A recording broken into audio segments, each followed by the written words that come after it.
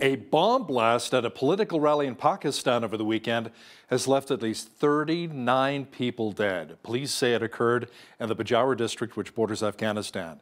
Now, to chat about this tragedy in more detail is our foreign affairs expert Lisa Daftari, who joins us once again from Los Angeles. Lisa, government officials say the explosion was from a suspected suicide bomber on the outskirts of the city of Khar. What more can you tell us? Yeah, so far it's uh, I think the death toll is is peaking 40 and 120 plus have been injured.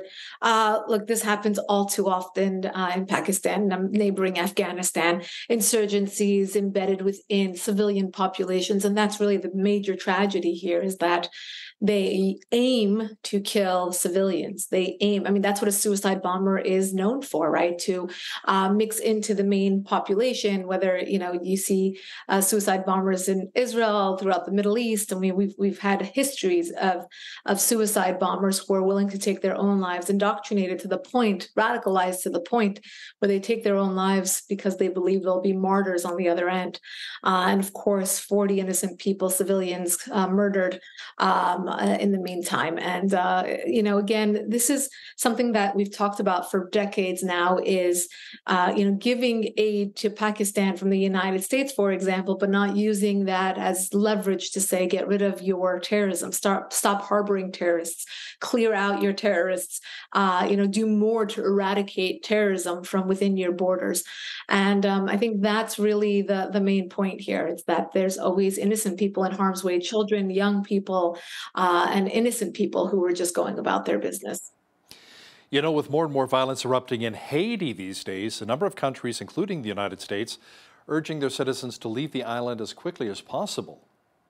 Yeah, you know, when we get these kinds of warnings, it's interesting because you know nobody's paying attention until you get the warning. You're like oh wait things must be really bad there that they want to evacuate all western um, civilian uh, citizens. Um, uh, so that's exactly what's going on in haiti. We've known that they have had this chaos um, brewing there for a very very long time and now it's gotten to the point where they have not been able to get it under control. So they're asking anyone from the united states who works lives there to to evacuate immediately now, you and I chatted a bit about this before, how the United States has been supporting Ukraine in its war with Russia. Well, Lisa, news just came out that the U.S. unveiled a Taiwan weapons aid package worth up to $345 million. I guess there was some money left over for Taiwan.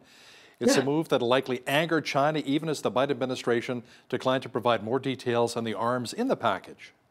Yeah, you know, it's it's interesting. We knew this was going to happen, but we didn't know how quickly and we didn't know if the Biden administration was looking to escalate things right now. But let me put out a few things here. Uh, yes, it was a 345 million dollar uh, military aid package. Uh, yes, it looks very, very um, uh, it, looks like the United States wants to take a clear position on this, while at the same time, like you said, angering um, and perhaps escalating the situation with China. And also, um, you have to also question the timing of all of this. Is this to is this a distraction from what's going on in, in, the Biden White House with his son Hunter? Is this something that they do they want to get into another war? Are they looking to escalate things? You know, um, you look at Ukraine. Are they trying to kind of distract us from what's going on in Ukraine? That war just going on and on and on, something you thought would be very, very quick, uh, lasting for a very long time. We're putting millions more into that. We just okayed an $800 million package to Ukraine again uh, here in the United States, giving them all kinds of, of weapons and cluster bombs, as you and I spoke about in, in, in recent weeks. And we know that they're using them not only in Ukraine, but also in Russia itself, which they promised they wouldn't. That's the latest. Um, now, with Taiwan, you question the timing of all this. Obviously, the United States is strapped. It's not something that they had, you know, uh, they, they, they had extra, but it's not something that they had a, a, a surplus of. Uh, so, obviously, scrapping together whatever they did have in the meantime. We were told that they would wait until there were more weapons manufactured to give a package to Taiwan, but it happened more quickly. And that's why I say are we to judge or question the timing of all of this? Meanwhile, China and North Korea reaffirmed military ties at a recent meeting in Pyongyang, and North Korea wants to annihilate the United States within this century. They're vowing to do so, Lisa. Of course, you have two communist peas in a pod uh, reaffirming their relationship with one another.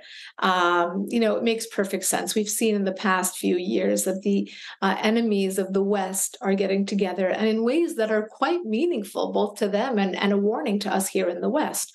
So, uh, China and North Korea, North Korea was kind of dormant for a long time, but now they have reaffirmed their relationship with China. But not only that, but are flexing their muscles towards the United States and as you said, threatening to take the United States off the map. So these are big words coming from our enemies, uh, and um, it's it's more of a wake up call that they are are, are banding to, banding together because that it, together they do have some sort of of power, whether it's evading sanctions, uh, military trades, uh, economic uh, you know leveraging with one another. Uh, that that's the wake up call. Thousands of people took to the streets in Gaza on Sunday, protesting poor living conditions and chronic power outages. It was a public show of discontent with the territory's Hamas government. Hamas security forces, Lisa, quickly clamped down on the protesters. Yes. So this is something that you don't hear too often in the mainstream media. So I thank you, Hal, for bringing attention to this story. You only hear about when Palestinians complain about Israel because it smears Israel, uh, but you don't hear about Palestinians complaining about their own leadership, and that is Hamas in Gaza. You also hear about them complaining about the Palestinian Authority in the West Bank and other areas, but mainly uh, Hamas, a terror organization that is recognized by the United States and many Western countries as a terror organization is leading the people. And what do they do? They take the money and they put it into weapons. They hide those weapons in schools. They they indoctrinate and radicalize young children as young as three to say death to Jews. And they raise them this way. And uh, this is the control that they have on the people. And the people are tired of it. They don't have proper means, they don't have uh, electricity and food and all the, the things that they could have if they had proper leadership. And that's exactly why they're out on the streets. And of course, the Palestinians want to hush this up very quickly because it goes against their narrative. Their narrative is that Israel is the oppressor, their narrative is that Israel is an apartheid state, their narrative is that Israel is occupying. And this narrative doesn't really match that. They're saying that it's youth, our leadership, Hamas, uh, that is the problem and not Israel. So um, it's an important story to follow. Now, in response to a recent string of public Quran demonstrations by anti Islam activists in Denmark, Lisa, that country is now seeking to legally prevent the burnings of the Quran and other religious holy books. Would that include the Bible? Yeah, you know, it's interesting. Uh, let's see if this even works. You think people who are crazy enough to go burn, you know, Torah or Bible or the Quran or, you know, whatever holy text in front of an embassy will now be deterred by a law? And where's that? In Denmark? um, you know, it's a pretty peaceful place. I, I don't think they have too many outlaws there. But at the same time, this has become a big trend, a big tit for tat kind of ping pong game with the burning of texts to show outrage or uh, disgust or disdain for each other's religions. Um, it's it's very upsetting because regardless of what you believe, all three uh, major religions of the world do share some fundamental overlap. Uh, and when you burn that text, you're burning that overlap, right? So you are going against your own religion, whether you're Christian or Muslim or um, Jewish. You know, it, it it should be a holy text to you, regardless, and show some sort of respect for that text, uh, regardless. So here we have a law. Let's see if the law helps us kind of quit this trend. Lisa, French embassy in Niger was attacked as protesters waving Russian flags marched through the capital. So what's that connection between Niger and Vladimir Putin's Russia? Yeah, it's a it's a good question. Imagine how disenchanted the people of Niger have to be to be out on the streets saying we don't want to be controlled by France anymore, but we believe a better stepfather here would be Russia. And that is why you're seeing Russian flags on the streets over there with people protesting and saying they want no more French influence. They don't want to be controlled by France. They want nothing to do with France. Uh, and they prefer Russia. They think that's going to be a better future for them. Well, that's amazing. And apparently, the Russian mercenary group Wagner is operating close by. Uh in Mali, and Putin is allegedly expanding his influence across West Africa. So maybe there's a bit of that connection as well. Lisa, Iranian TV actress Shohreh Aghamar was arrested and charged after speaking out against the regime in Tehran while also wishing Israel Prime Minister Benjamin Netanyahu good health last week after it was revealed that he was not well. Yeah, so this is interesting. You know, my first uh, reaction to the story was why is an Iranian actress even wishing Bibi well? I mean, not that it should be she should be arrested for it, but it just goes to show right now where the people of Iran are. They are looking to stick it to the government. They're looking to put, you know, stick a finger in the eye of the regime. And they she knew that by obviously supporting the protesters, by supporting the revolution, and also by showing support for Israel, showing support for Bibi Netanyahu, who is the prime minister of Israel and obviously a very strong figure who has stood up to the regime to say, we're going to retaliate against anything you do with nuclear weapons, or if you attack us, we're going to retaliate. Um, obviously, a very strong figure. Um, she knew exactly, I think, what she was doing, but obviously, I don't think she believed it would be punishable by, you know, arrest or jail time, which we're seeing is the case. So it just, um, you know, another example of a celebrity or somebody who's in the public eye uh, being punished as a symbol of what the regime can do, telling people not to support the movement, not to support Israel, not to support the United States. And here you have an example of what happens when you do.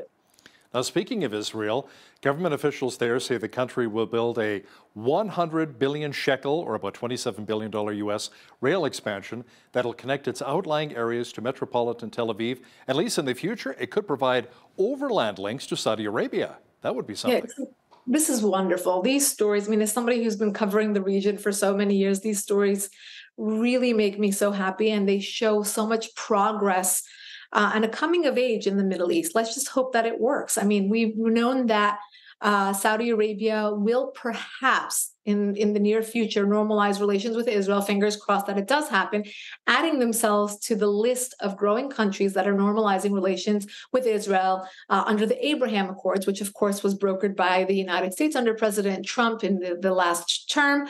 Uh, and now it, it, these are deals of prosperity. So we have economic cooperation, we have military cooperation, we have private and public deals that are benefiting both sides, both Israel and these moderate Arab states. Saudi Arabia, if they join join as well is going to really shift that axis in the Middle East to say these are the countries that will move forward and these are the countries that are going to stick with Iran's regime and terrorism and stay in the dark ages. And we hope that the people of Iran can even join over. So we're hoping for, for that revolution as well. But this train is really symbolic not just going from north to south in the in the small country of Israel, which is wonderful, uh, but but it does have potential to go outside the country and to connect Israel with its neighboring Arab states. Lisa, let's bring things a little closer to home for just a moment. What's the latest with Trump?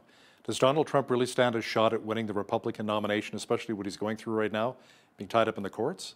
You know, Hal, if I had a little bit of money for every time I was asked that question, I could probably, uh, I don't know, stop doing a little bit of work, but I wouldn't even retire. Yeah. yeah.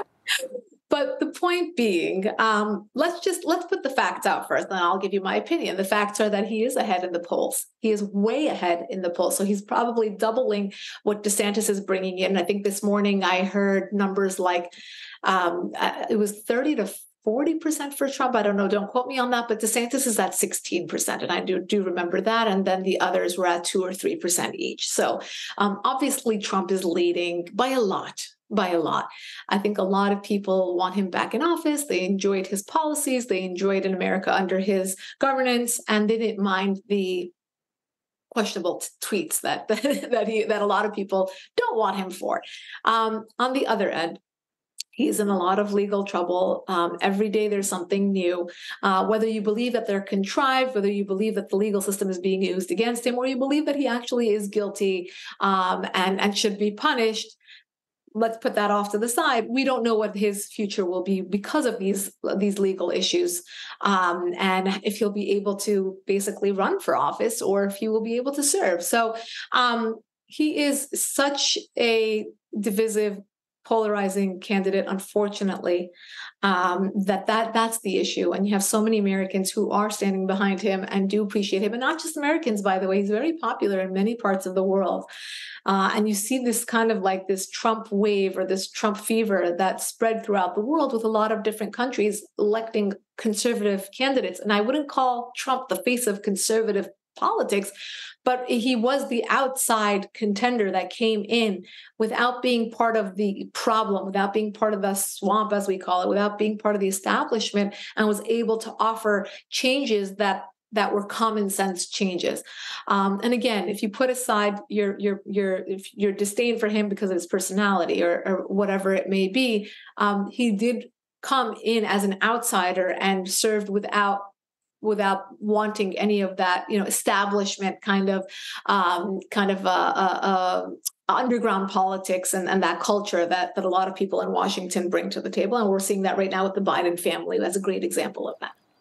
She's a political commentator and the foreign affairs expert from the Foreign Desk. Lisa Daftari, thanks again for joining us today from Los Angeles. Thank you.